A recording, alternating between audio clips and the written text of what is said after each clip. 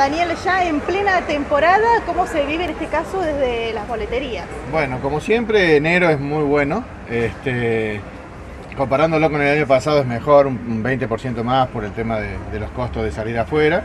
Eh, eh, eh, hay más recambios, calculo que la gente viene una semana y se va. Entonces hay todos los fines de semana hay un buen recambio en cuanto a transporte ¿no? Este, estaba viendo más provincias, se mueve mucho La Rioja y San Juan, me, ha movido mucho. Este, esperemos que febrero sea parecido y que podamos cerrar una buena temporada. Bien. Ustedes particularmente, la empresa, ¿con qué provincias trabaja? Bueno, la, la, el más fuerte es Buenos Aires por la cantidad de gente, ¿no? Eh, contamos todos los horarios con refuerzos, vamos y venimos completos, está, se, se, se, maneja muy bien. Y después manejo La Rioja, San Juan, Santa Fe, Paraná, eh, algo del, del, Chaco y Corrientes, muy poquito. ¿La gente viene a comprar o, o pide con reserva los boletos?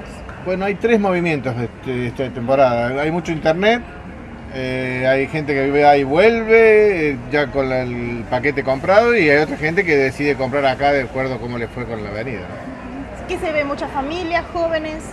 Jóvenes, siempre en enero es más joven. Eh, hay familia, la familia viene segunda quincena de enero y después ya viene gente más grande.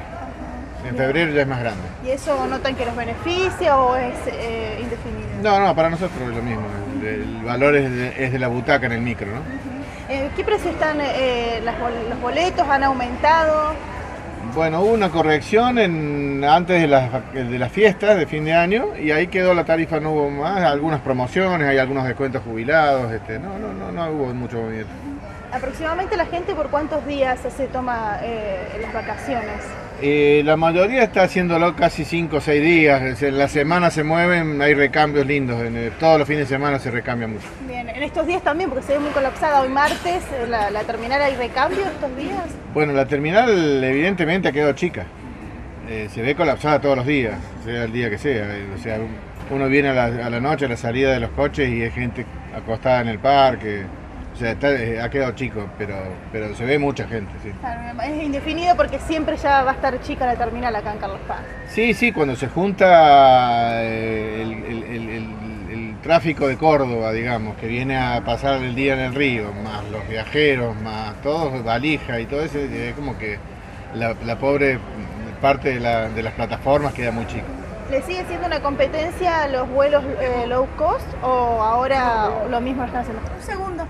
Eh, bueno, el aeropuerto acá es un poco lejos para movilizarse, entonces este, no ha tocado tanto. Sí, hay, hay consultas y todo, pero, pero, pero no, no. Pero no, la gente sigue creo. eligiendo el colectivo para manejarse. Sí, me parece que sí, de acá sí. Todavía hay un, una buena demanda.